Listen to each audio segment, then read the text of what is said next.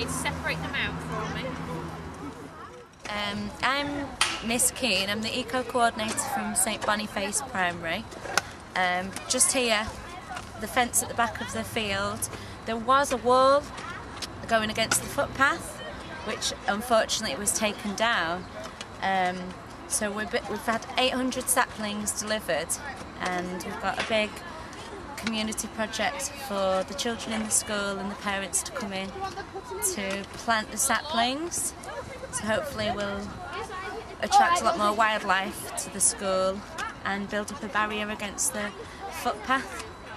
And that's pretty much what we're doing. Each day this week we've got each class coming out to dig trenches and plant some of the plant the hedge and and this is just one of the projects that we've started with.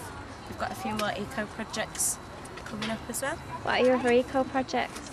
Um, if you look over here, well, beyond beyond the field, we've had a lot of trees cut down because um, the trees were getting old. But we've got lots and lots of tree stumps now, so we're wanting to use what's left of the wood now to create um, a more eco-friendly environment around the school. So we're having stepping stones put in, and we're hoping to get a local artist or someone to carve the wood just to make the grounds look a lot nicer.